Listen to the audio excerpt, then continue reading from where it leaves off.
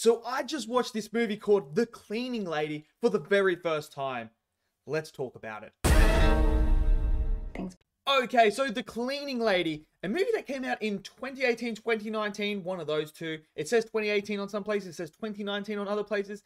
It came out then. It is now currently on Amazon Prime for you guys to go and watch if you want to watch it. This was a recommendation from Outlaw, one of my subscribers. So thank you for that because I had no idea about this movie. I didn't even know this movie existed. So I sat down and watched it. Now it's a horror suspense thriller. So if you guys aren't into horror, it's probably not the movie for you. But I sat down, going in completely blind, had no idea what this was about. I'm telling you right now, Outlaw, you did not prepare me for the very, very first scene of this movie. I was not prepared for it. I was sitting down, you know, just enjoying my lunch, and I was like, I'm gonna watch it, you know, just enjoying my food normally.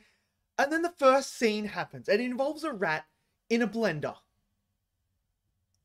And I'm sitting there like, I don't think I have an appetite anymore. I don't have an appetite anymore. I don't I don't want to I don't want to eat. Disgusting. Absolutely disgusting scene. But it comes into play later on in the film. I'm not going to spoil it just in case people want to go and watch it. So I'm not going to spoil why what happens in that. So we're going to have like a, just a normal review here of it. But look, The Cleaning Lady is very much a horror movie. This is a movie that you shouldn't be watching with kids. And it deals with a person who has a traumatic experience in their life that shapes them forever and then turns them into something else along the way. Now, I thought, look, there, there's one massive problem I have with this movie, and it is the motivations of our particular character that we follow. So there's two characters you follow. You follow the cleaning lady, and you follow this other uh, young lady. And the cleaning lady, I'm not 100% sure about her motives and why she did this to this particular person. And there's multiple reasons to why that is because when you watch the movie, you understand what the cleaning lady has gone through, all her pain and suffering that she's gone through, and I totally understand that. It was, I wasn't prepared for it. I was not prepared for what she did, went through and how she got these scars on her face because the makeup artist did an absolute fantastic job of that makeup. I mean, you look at who played the cleaning lady in this movie, she looks completely different in the movie because of all the facial marks that she has from her accident. And it's mental how different they look and what they were able to do, creating this this look of a person who had been through something. When I mean traumatic, I mean this is like I wouldn't wish this upon anyone.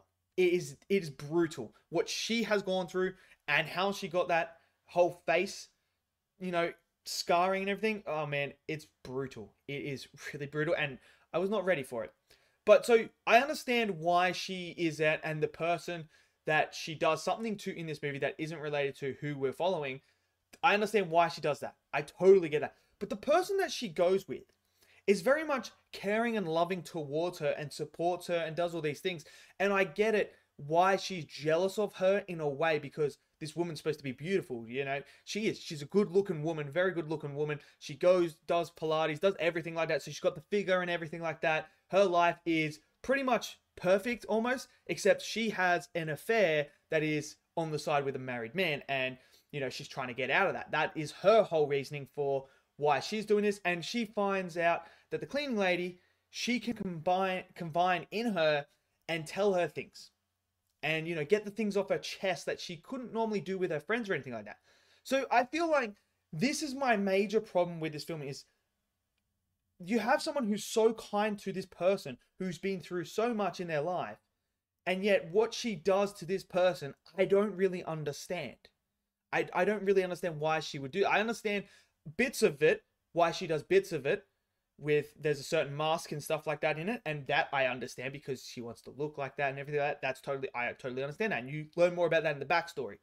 But it's what she actually does at the end of the movie to this character, and I still don't 100% get what she was doing with that. I the only, there's one thing I can think, and it's to do with Barbie. And once you see the movie, you understand what I mean by that. So I, I, I guess that's what I interpreted that ending. So if someone else has seen it and has a different interpretation to the ending, please let me know in the comment section because my interpret- interpretation of the ending is sort of like a Barbie sort of sense. You know, she views her as that and and yeah. But dude, outside of all that, there is this poor woman. This poor woman that tries to help her. Man, she gets destroyed. And when I mean destroyed, just imagine a shovel and a face. And she just got like I'm just there's one character in this movie that I felt really, really sorry for, and it's the son of the married guy. Because, bro, when you see this movie, you understand why you feel sorry for this person. Because there is a lot of death in this movie, and it's violent as well. And I'm sorry, the scene, Outlaw, you did not tell me about this scene. I was not. This is one scene I definitely was not prepared for. Acid. Tipping on people I was not ready for that. And I mean, oh, I've seen acid be dripped on people before. Obviously, I've seen it in Saw and stuff, but this one was just different. This one hit and felt so real. And I was sitting there like, damn, this is crazy. Where she pulls it, my jaw was on the ground. I was stunned. I was not ready or expecting that to happen thanks for the warning, Outlaw. Thanks for the warning, man, because I watched this whole entire movie and it was just every single scene, like something like that happened. I'm just sitting there like, what's going on? And then the whole rat in the blender stuff is disgusting because of what she does with it. It is so gross. It really is. But outside of the flaws that I have with it, I thought the cinematography was good. I really enjoyed the cinematography. I really enjoyed the characters. I must say, I really did. Like I said, I enjoyed, you know, seeing what the cleaning lady was about, her traumatic experience and her past life and what turned her to this point.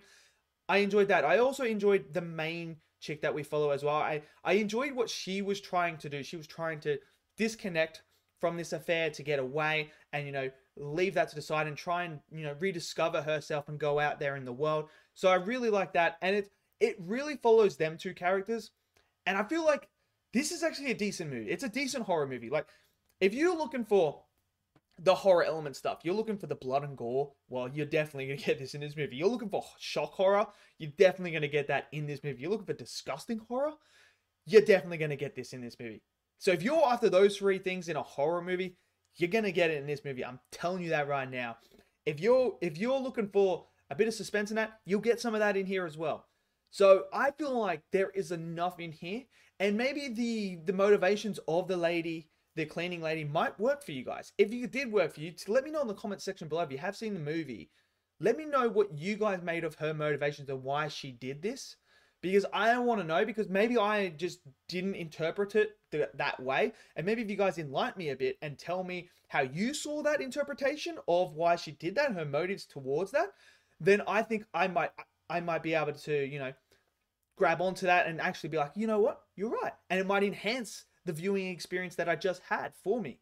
Look, I understand because of what happened in her past with the whole word no and everything like that and stop to why she would do something like this to in one particular scene with the person that she does it to that I totally get but it's the ending that I just don't get why she does that but yeah, so if you guys have seen it, let me know your thoughts down in the comment section below. I think it was actually pretty decent. So thank you, Outlaw, for that recommendation. If any of you guys have any more recommendations you want me to watch that maybe I haven't seen or heard of, let me know in the comment section below. I'll watch them and we'll do a video on it.